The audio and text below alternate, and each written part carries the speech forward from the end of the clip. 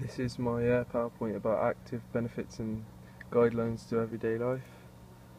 How much physical activity do you need to do each week depends on your age.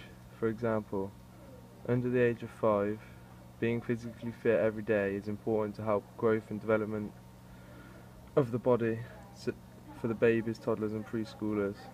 Also, it minimises the amount of time children spend watching TV, playing computer games, uh, travelling by car or bus or any transport if they're out doing all these sports and being proactive. For an age group of this, uh, for this kind of age group, any intense uh, activity is uh, encouraged, including light activity or more energetic, fun games. How much do they need each week? Depends on the age. Like five to eight year old, 18 year olds, stay healthy and improve health.